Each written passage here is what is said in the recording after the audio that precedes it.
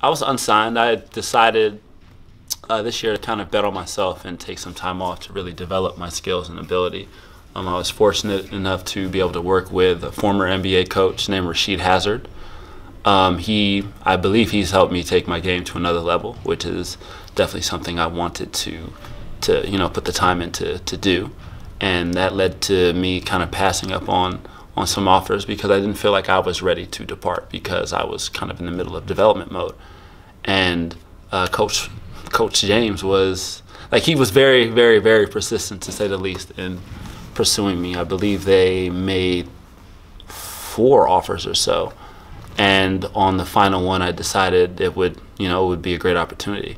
Um, especially seeing how well the guys are already doing, I felt like I could come in and and kind of be an addition to to help, you know, help them succeed.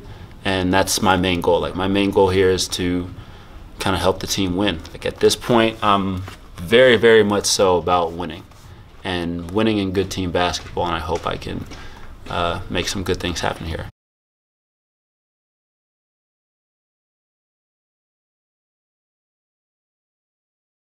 There, no, there, there are a lot of visible differences. I know just rolling up to, to practice on the first day, being able to practice in the new facility, it's it's substantially different than what I remember. And I mean, the last time I was actually in the old gym, I ended up getting my face fractured by a seven foot Lithuanian guy. So I have some some very fond memories of the old gym. Um, but the new one, it looks it looks amazing. I've heard the fan support is also very very good. And as a basketball player, you obviously want the fans to be involved because they give you that extra boost of energy. So.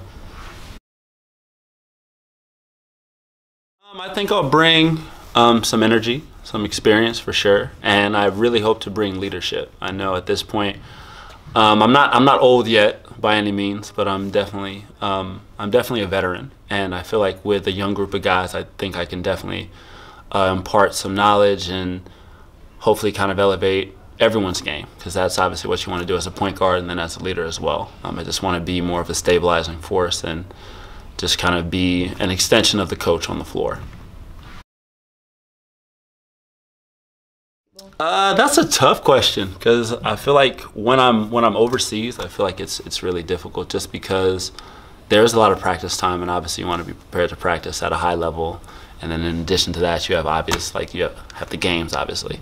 Um, but other than basketball, I, I, like to read in my free time, um, watch TV, watch movies, um, and honestly, I kind of study basketball. I like to watch film on uh, my friends. Um, and then I also mentor some young kids back home. I shouldn't even call them young kids. They'll be mad if I said that. But uh, some younger players, um, just trying to basically spread the knowledge that I've gained over these years and help them kind of not make the mistakes that I've made in my life. So that's those are some things I kind of like to do.